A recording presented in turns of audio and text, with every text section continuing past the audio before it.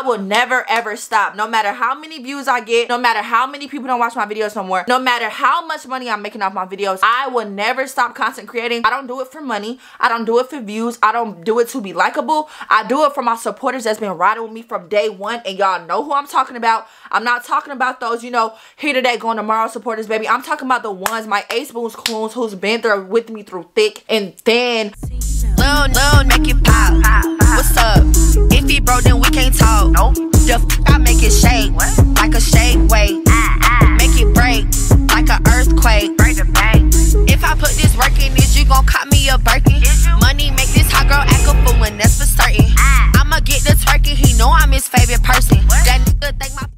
Up family? It's your girl Chy the Greatest and welcome back to my YouTube channel y'all. Today your girl is back again with another video for you guys. This is a life update slash post-op surgery update from my keloid removal. I know I had a lot of questions, a lot of concerns under the comments. So I just kind of wanted to clarify. I told you guys I was to wait a good three months. It's been about that before I show you guys what the healing process is now. Ever since this new year started guys, I definitely have been feeling fresh. Last year I was going through a lot of hard a lot of ups and downs. I definitely feel like God has turned my life around tremendously since then. As you guys know, I am a part-time student. It gets really hectic as far as my schedule go, but China is never too busy to update some content. A lot of people have been asking, where's the videos? Where's the videos? I don't know if you guys know, but your girl recently became a Snapchat star. Make sure you guys add me on Snapchat because I do be posting content, even if it's on another media source, babe. It's still content is content. I'm also working on getting Chymoney collection back up and running. As you guys know, your girl had an e-commerce site called Chymoney collection.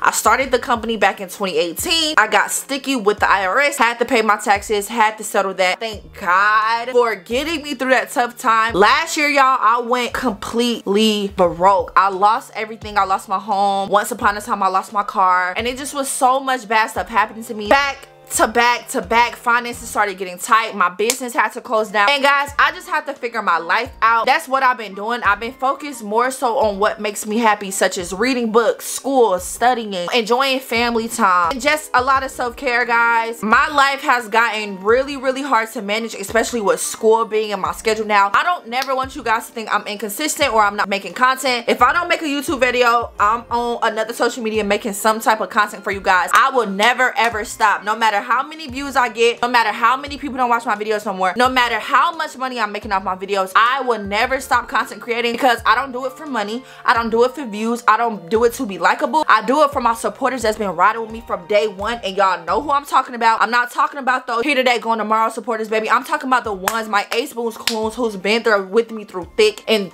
thin, regardless of my relevancy, regardless of what I've done over time. They still standing for me. They still riding for me. That's who I make the content for I'm also working on my show, Catch Up Money 500. Make sure y'all stay tuned for that. It is dropping this summer. Make sure y'all stay tuned. That is my reality dating show that I made um about two, almost two summers ago. It is currently in post-production and it's all most rap. I've been sitting on so many investments, so many revamps, so many ideas, and I wanted to wait to the top of the new year to just kind of, you know, give it my full attention. And then when I get my license, I'm also moving to another state. I haven't told y'all, I haven't told y'all, but I'm telling y'all now, I plan on moving to the West Coast. I'm not going to tell you guys the location yet because I believe in getting there first before I start yapping. Lastly, lastly, only my Snapchat supporters know about this secret, but I'm going to just reveal it to YouTube. Your girl is working on a book. I wrote it last year. I'm not telling the names, I'm not telling the titles, but it's basically me writing letters to God. When I lost my home, when I lost my car, when I went broke, when I had to get on welfare, nobody knew because I always kept a smile on my face. I always stayed positive. I always made sure I was making content for my supporters. I am going to drop my book later this year. It's more than likely going to be after I drop my show, Catch Up Money Find Honey. And I just stayed busy. I didn't give up on myself no matter the hate, no matter the negativity. I still kept pushing, pushing, pushing I planted a seed and now it's harvest season. As you guys know, I received keloid surgery back in October of last year from getting arm lipo. If you don't know, if you are a Fitzpatrick 5, a Fitzpatrick 6, look that up. Women of color, darker tone tones such as me on down, we are prone to keloid. Fast forward two months ago, almost three months ago, and these are the results now. I have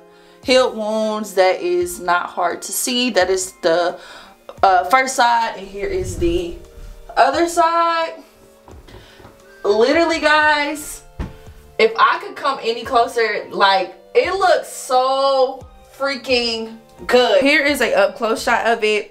Y'all when i tell y'all um two months ago i suffered from hyperpigmentation in the area from the radiation and I was so insecure about it. Even when I would go to the gym, um, I wear like a lot of crop tops and stuff. So I would sometimes like wear my jacket over it. Like, then I said, you know what? I'm going to love myself no matter what condition I'm in. So what I literally started doing, guys, with me being in beauty school, learning about skincare, I learned that when you put moisture back into a wound, that is what causes the melanin to heal. Every single day I was putting shea butter on it as well as sunscreen. Let me tell y'all about sunscreen because sunscreen has been around for years, but it's not as used as often often as it needs to be. Darker skin tones, men and women, we have to stay moisturized and we have to stay protected. What is protection? SPF, vitamin C. When you are not using these things, you get sun damage, your skin starts aging, your skin starts hyperpigmenting. We must moisturize every single day. We must wear SPF every single day. Will you die if you don't? No. if you are into skincare and you do want to improve your skin, whether it's your, your body skin, whether it's your face, you know, the skin on your face, I highly recommend taking your self-care a little bit more serious. Now that I'm in school and I am learning about skin, vitamins, water intake, dieting, you know, different things such as PCOS, you know, in women, things of the sort, I am learning how to prevent it and I am learning to take care of myself before it's too late because your skin ages, babe. To each its own, everybody has a personal preference, you know. So my thing with my scar a couple months ago, I felt like it was really, really dark around the, um, area where it was radiated and it's still a little hyperpigmentation there. You can actually still see it. Nevertheless it is not as bad and i definitely feel like if i continue doing what i'm doing you know covering moisturizing it and covering it with spf it will certainly heal on its own um, so I'm not going to use any harsh products on it because I do not want to cause more hyperpigmentation. My skin has brightened up tremendously, but it's getting there. It's getting there and I'm literally doing not much, just moisturizing every day and putting SPF on it. If you guys want me to update you guys again, you know, for instance, if you guys are getting keloid surgery or struggle with keloids, I definitely don't mind updating you guys again if you want. Just let me know down below in the comments. But yeah, guys, that really completes this video. I just wanted to let you guys know your girl is still alive. Your girl is still here. I have a lot of work coming up for you guys guys. Follow the show page. So as soon as we launch guys you guys can be notified. Feel free to drop your opinions of the footage the quality things of the sort. I just wanted to let you guys know i'm working man. I'm not just sitting on my behind man. I'm working. I'm going to school. I'm getting my business back running. I'm writing a book. Dropping a show. So i have so much in store for you guys this year. I don't want you guys to think i'm not working. I'm always working. One thing about it. Okay two things for sure. I love y'all and i hope you guys enjoyed this video. Bye Lil, make it pop. What's up? If he broke, then we can't talk. Nope. The f I make it shake. What? Like a shake weight. Ah, ah. Make it break. Like an earthquake.